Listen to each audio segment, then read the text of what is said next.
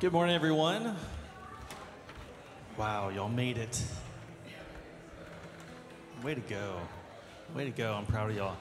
Hey, before we get started, you know, we usually- start with a psalm. I wanted to kind of cue this one up a little bit um, to, to help us um, receive it and say it and proclaim it um, with a very intentional way.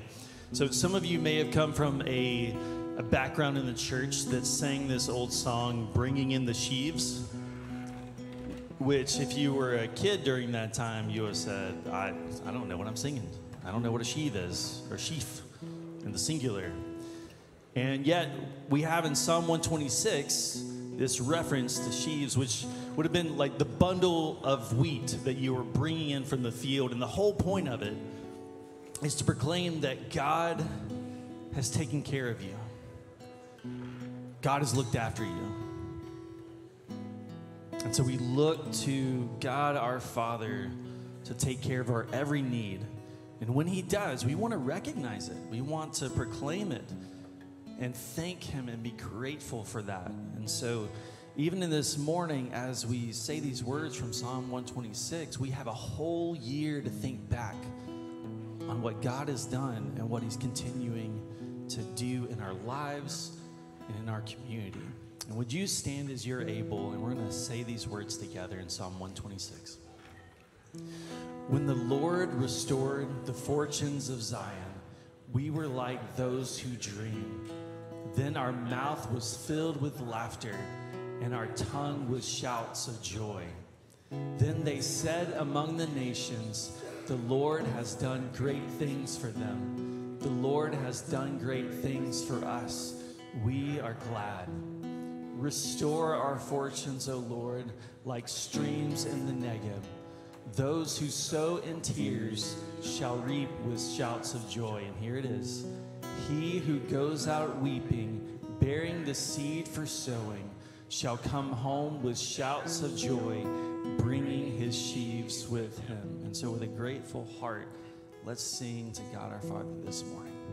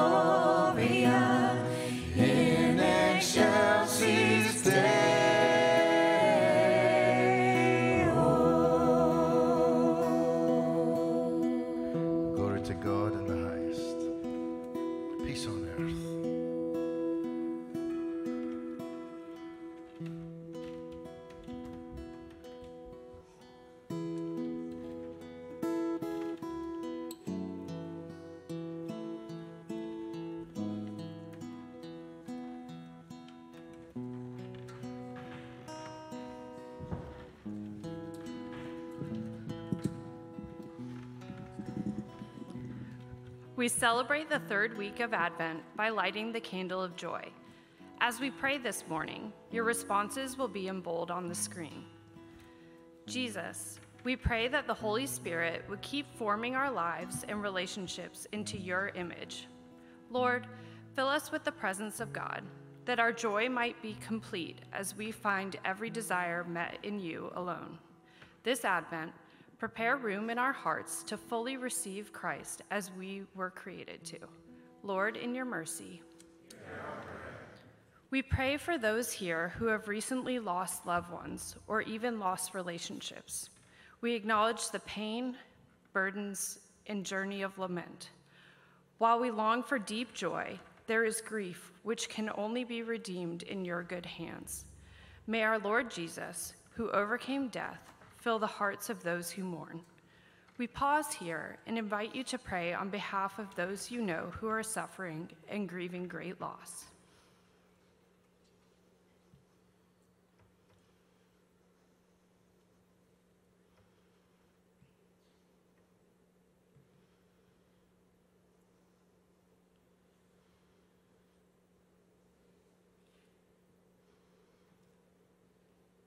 Lord, in your mercy.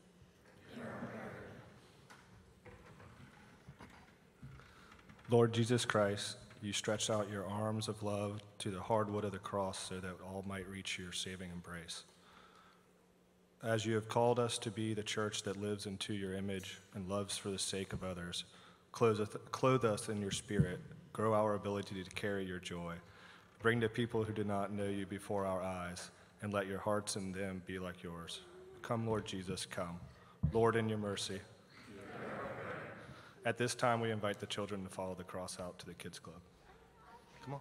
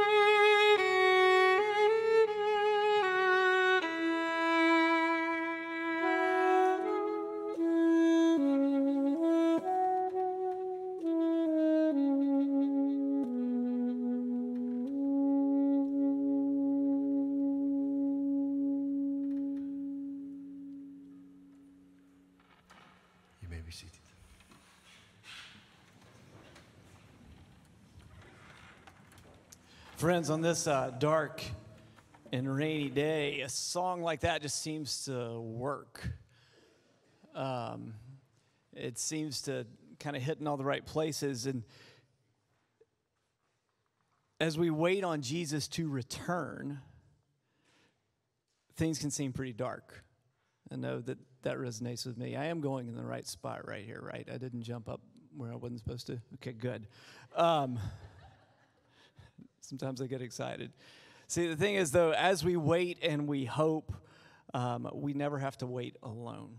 And we talk a lot about this.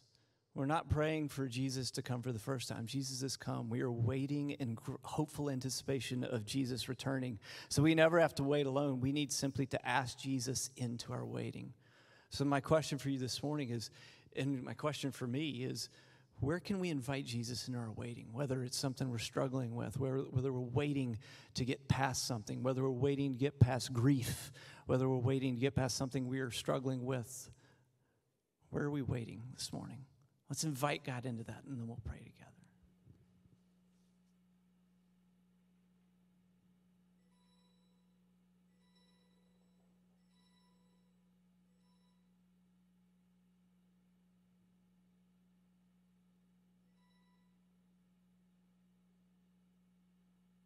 And friends, if you'll join me in this prayer on the screen.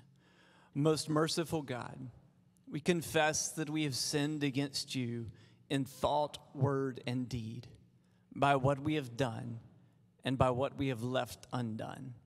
We have not loved you with our whole hearts. We have not loved our neighbors as ourselves.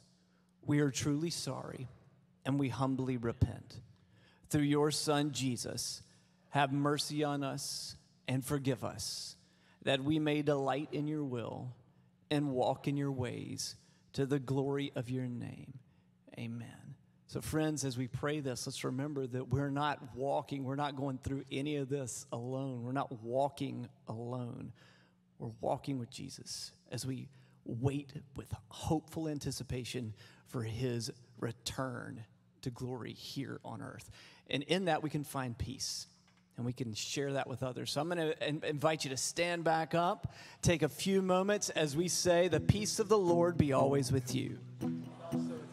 Let's take a few moments. Let's pass the peace of Christ. I'll call you back in a second.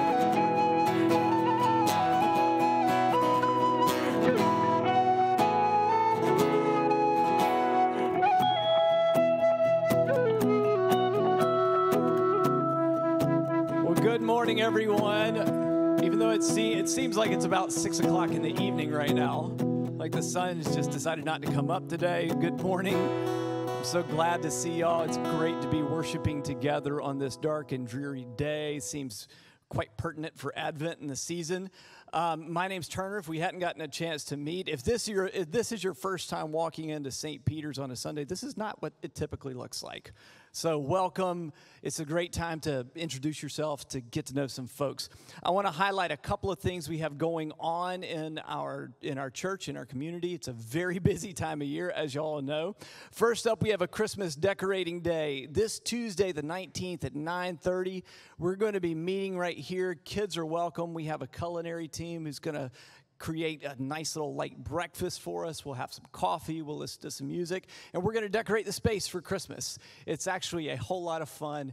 It's not about decorating, it's about showing up and hanging out. It's a great place to get to know people, it's a great place to connect. So you're all invited to that. Then on Wednesday, we are going to create some space for worship. This is a busy time of year. I know I feel this to the point where when we decided we were going to do another Seek service, I went, Really? We're going to do something else? But what it's about is not doing something else. It's about taking some time and intentionally carving out some space for prayer and for worship. AJ and Martin are going to be leading us. We're going to sing some of those wonderful old Advent carols that we don't get to do nearly enough. So it's a great time if you want to just come and pray and worship, or if you need some prayer for some healing in this time of year that can be really painful for some this is a night for you. So I invite you to save that date and come and join us. And then, wow, Christmas Eve right around the corner a week from today. We're going to be having three different services. At 10 o'clock in the morning, it will be the final Sunday of Advent, and we don't want to skip over that. So, we're going to have what will look a little more like a typical Sunday morning service at 10 o'clock, where we will, we will not skip over the last Sunday in Advent. And then at 3 and 5, we will have more of our traditional Christmas Eve services right in here. So, come one, come all. It's going to be an amazing night. Last, certainly not least, December is traditionally a month where a large majority of our giving comes in that, that helps us throughout the year. So if you call this your church home, I'd like to invite you to join us in giving towards God's mission and vision for St. Peter's Church. There are a number of ways to do that. You can find all those online. Um, and also, I want to let everybody know AJ is actually, we need to be praying for him. He's guest preaching at a church downtown today. I hope he took his canoe. Um, so we are fortunate enough to have uh, my beautiful bride, Margaret, preaching and teaching us today. So, with that in mind, Marg, welcome. We're happy to have you. And I'd like to invite our reader forward as we continue in worship together.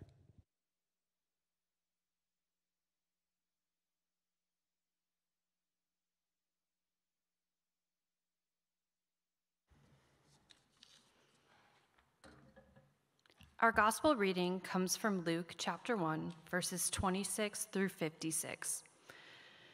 In the sixth month of Elizabeth's pregnancy, God sent the angel Gabriel to Nazareth, a town in Galilee, to a virgin pledged to be married to a man named Joseph, a descendant of David. The virgin's name was Mary. The angel went to her and said, Greetings, you who are highly favored, the Lord is with you. Mary was greatly troubled at his words and wondered what kind of greeting this might be. But the angel said to her, Do not be afraid, Mary. You have found favor with God. You will conceive and give birth to a son, and you are to call him Jesus. He will be great and will be called the Son of the Most High. The Lord God will give him the throne of his father David, and he will reign over Jacob's descendants forever his kingdom will never end. How will this be? Mary asked the angel, since I am a virgin. The angel answered, The Holy Spirit will come on you, and the power of the Most High will overshadow you. So the Holy One to be born will be called the Son of God. Even Elizabeth, your relative, is going to have a child in her old age, and she who was said to be unable to conceive is in her sixth month for no word from God will ever fail. I am the Lord's servant, Mary answered. May your word to me be fulfilled. Then the angel left her where she entered Zechariah's home and greeted Elizabeth. When Elizabeth heard Mary's greeting, the baby leaped in her womb, and Elizabeth was filled with the Holy Spirit. In a loud voice, she exclaimed, Blessed are you among women and blessed is the child you will bear. But why am I so favored that the mother of my Lord should come to me? As soon as the sound of your greeting reached my ears, the baby in my womb leaped for joy. Blessed is she who has believed that the Lord would fulfill his promises to her. And Mary said, My soul glorifies the Lord, and my spirit rejoices in God my Savior for he has been mindful of the humble state of his servant. From now on, all generations will call me blessed, for the mighty one has done great things for me. Holy is his name. His mercy extends to those who fear him from generation to generation. He has performed mighty deeds with his arm. He has scattered those who are proud in their inmost thoughts. He has brought down rulers from their thrones, but has lifted up the humble. He has filled the hungry with good things, but has sent the rich away empty. He has helped his servant Israel, remembering to be merciful to Abraham and his descendants forever, just as he promised our ancestors. Mary stayed with Elizabeth for about three months and then returned home. The word of the Lord.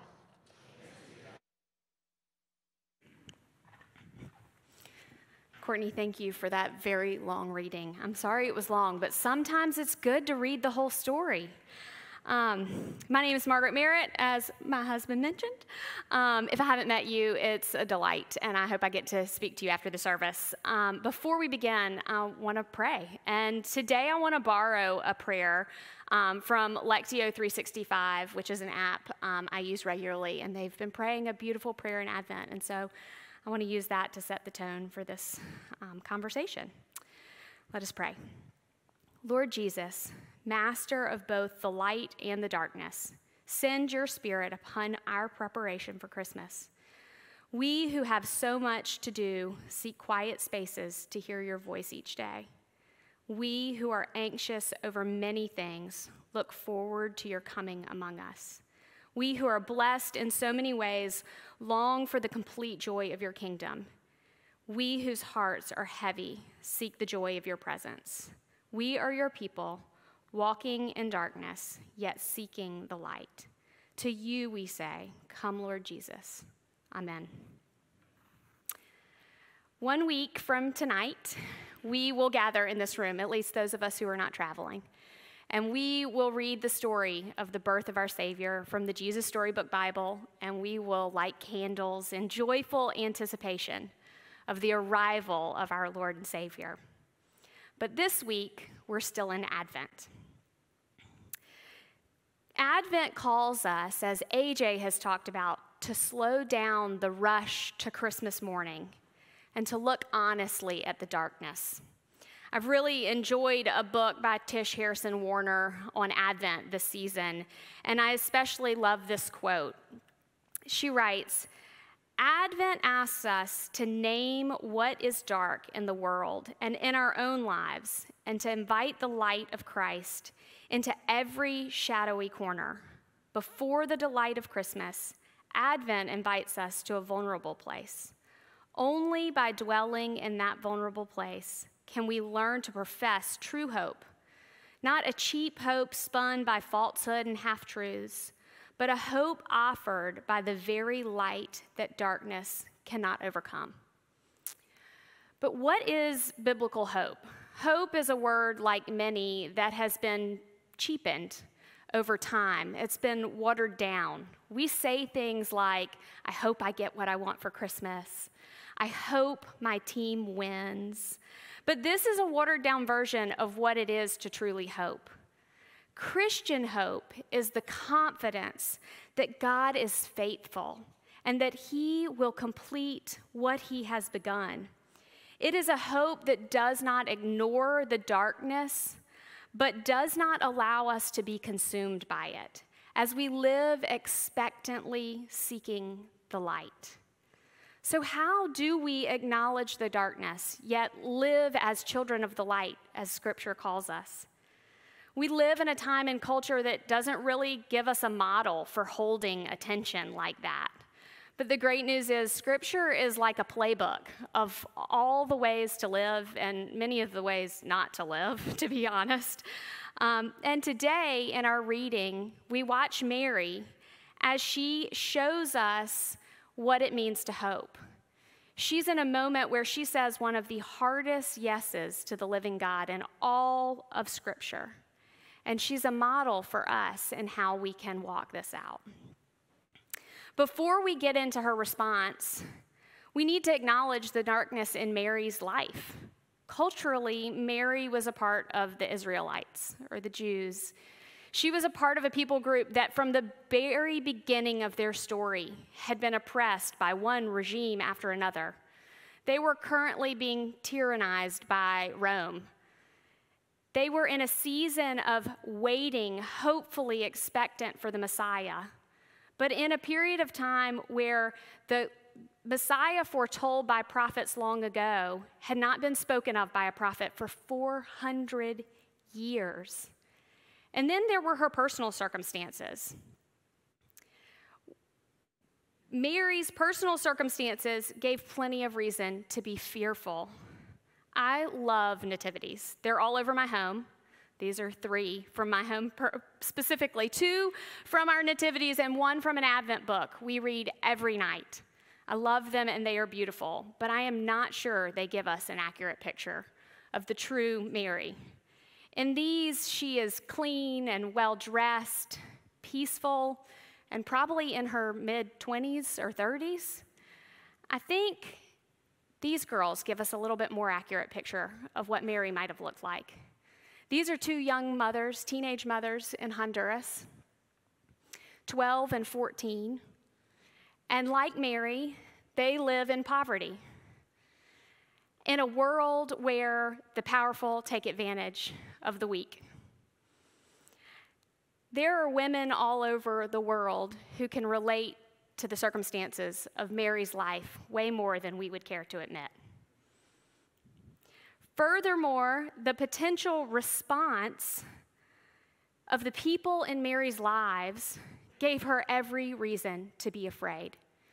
She lived in an honor shame culture where to be found pregnant out of wedlock could mean that you were basically dead to the family that you had brought shame on, and that you could quite literally be put to death, as the penalty for adultery was stoning.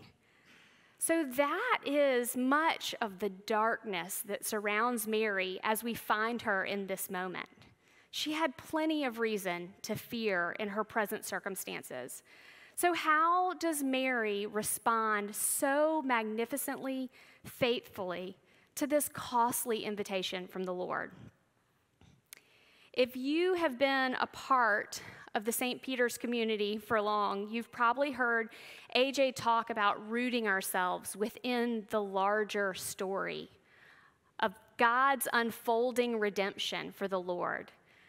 It's a story of a God who goes to costly lengths to be in relationship with those he loves and who invites us, his people, into that story of the redemption of the whole world.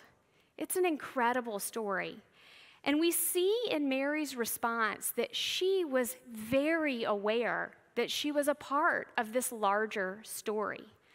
Specifically, the portion of today's reading that is called Mary's Song, where she is in the home of Elizabeth and pours out praise in response to this invitation. In that passage, we see over 15 Old Testament readings. I'm not going to ask you to read this, we're not going to go into detail, but I just want to point out that on the right hand side, I always get stage right and all that wrong. So, anyway, on this side, um, you see each verse of her response. And on that side, you see the Old Testament references that are drummed up in that. That are, she, as people look at it and analyze it, they can see clearly how she is pointing back to the story of her ancestors. She was acutely aware Deuteronomy tells the people of God to impress these stories, to impress this scripture on their children, to talk about them when we sit at home and when we walk along the road and when we lie down and when we get up.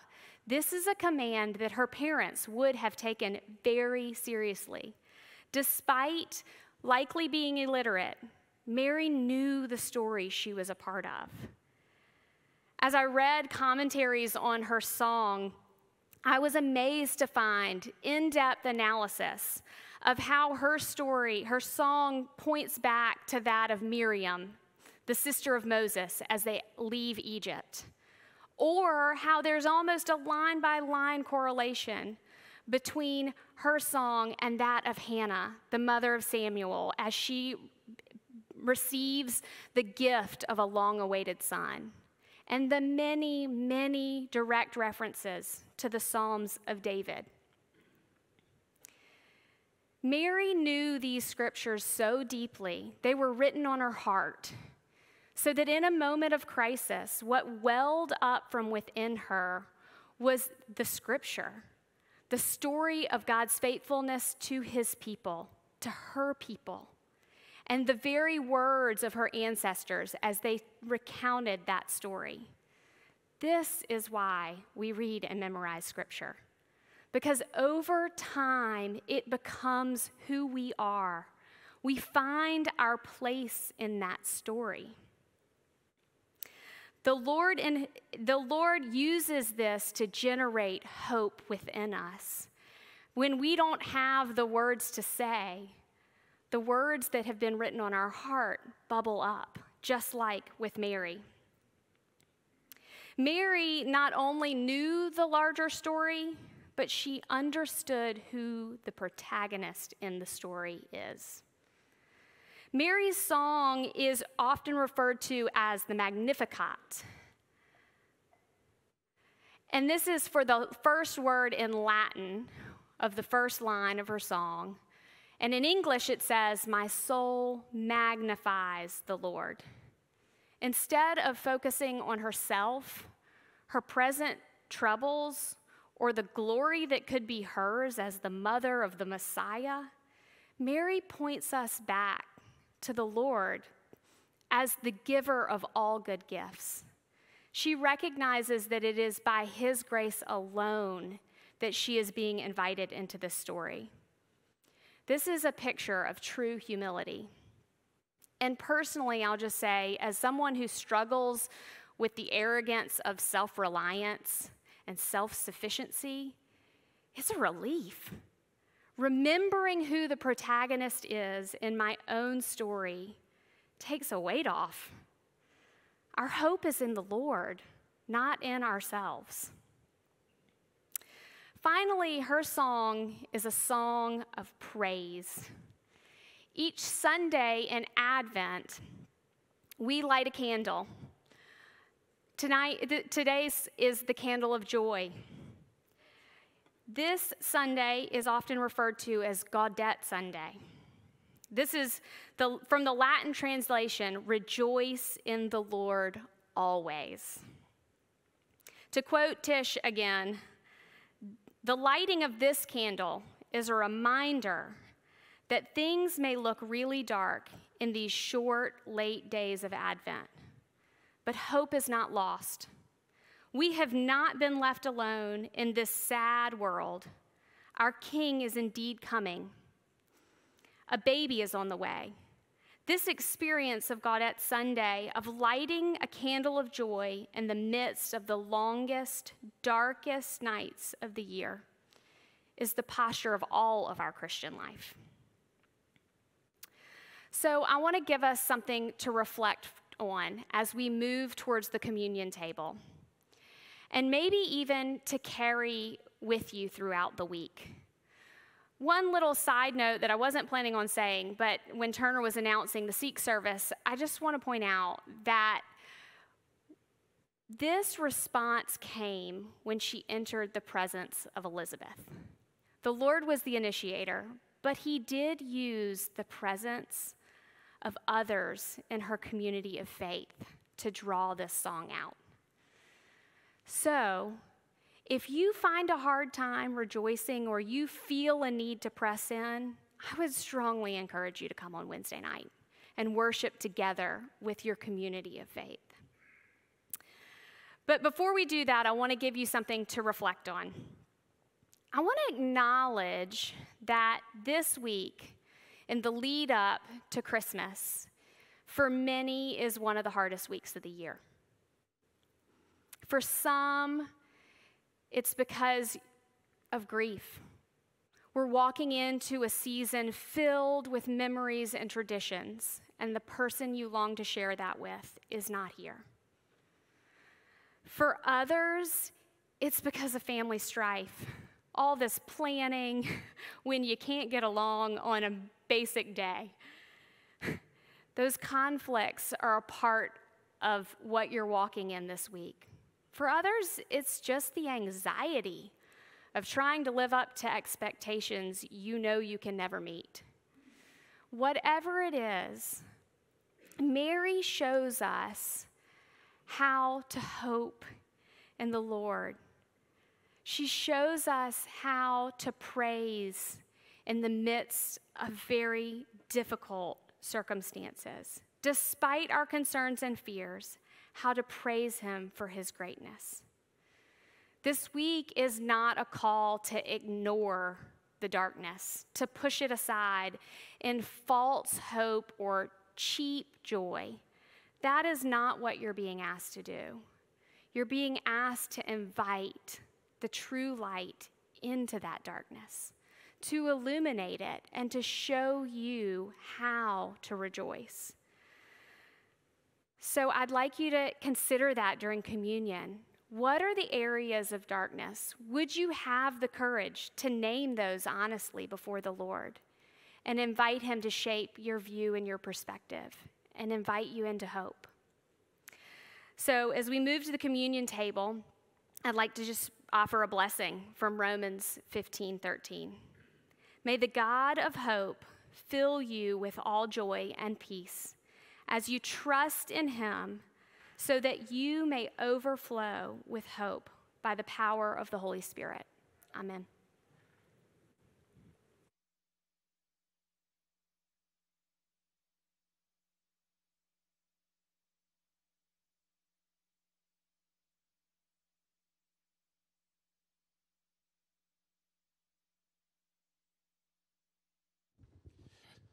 Margaret connected for us that we are in the literal longest nights of the year.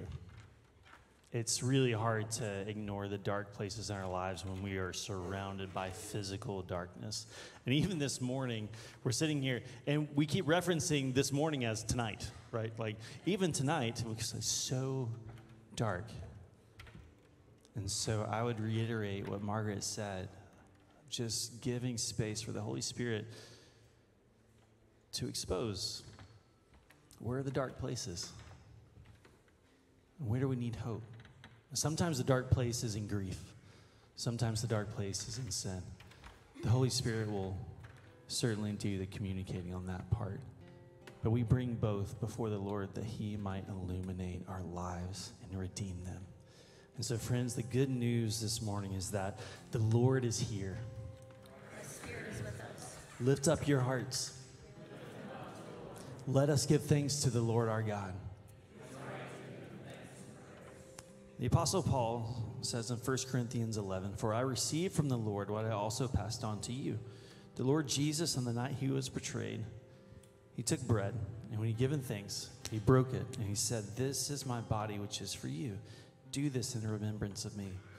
And in the same way, after supper, he took the cup saying, This cup is the new covenant in my blood. Do this whenever you drink it in remembrance of me. For whenever you eat this bread and drink this cup, you proclaim the Lord's death until he comes. The Holy Spirit, our Lord's death is a combination of grief and gladness, sadness and deep joy, of realizing what Jesus had to go through, which is so hard, but that he did it for us and changed this world forever is a reason for us to proclaim hope and joy and peace. The very things that you call us to in this season.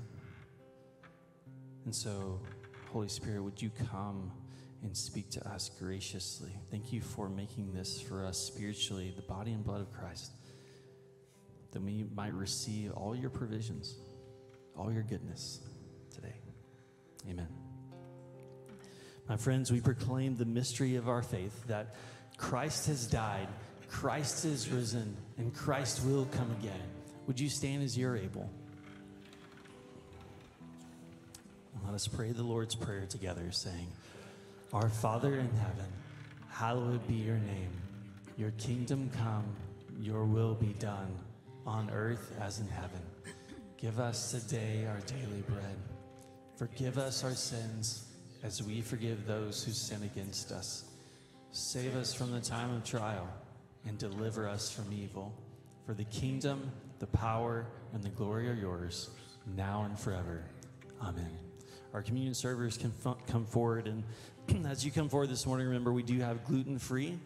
And if um, our kids do make it back in, if they're not receiving communion yet, our servers would love to pray a blessing over them this morning. Friends, come with the darkness ready to receive the light of Christ.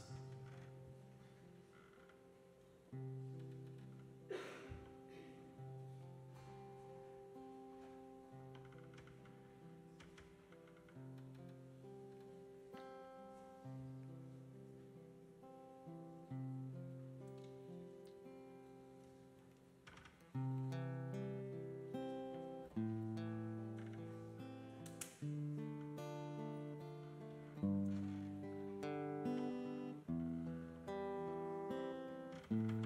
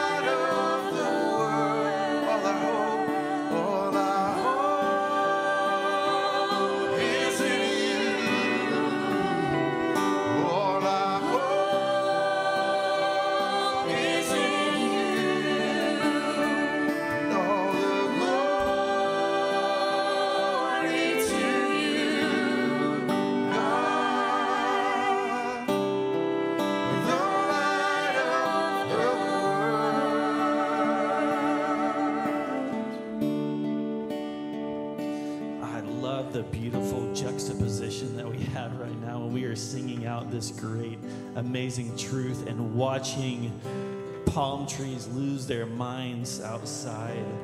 It is so good. I will say a couple of things. One, some of y'all did get the weather alert, so we are under flash flood warning. So you've heard from the stage now. Please be careful, be safe, take your time getting home. Secondly, I'd say, you know, based on just driving on Isle of Palms yesterday, I was looking around just seeing these majestic oaks. And I know we put up with the, the leaves and the blossoms, blooms, and all that stuff so that we get the beauty of them, we get the shade, and we get the longevity. When we talk about being rooted this morning, that's what oaks do. They stand the test of time. That's what they do. We are followers of Christ. What we do is we root ourselves to the Holy Spirit and we bring all of it all the hurts, all the darkness, but also our hope fully in Him and receive His light. And so today, as we go out, we, we are tempted to go out into darkness, but we go out into the light of the world, being carriers and bearers of that light as well. And so, friends, please receive this benediction this morning. Let us go forth in the power of the Holy Spirit sent forth for the sake of the world. God bless y'all.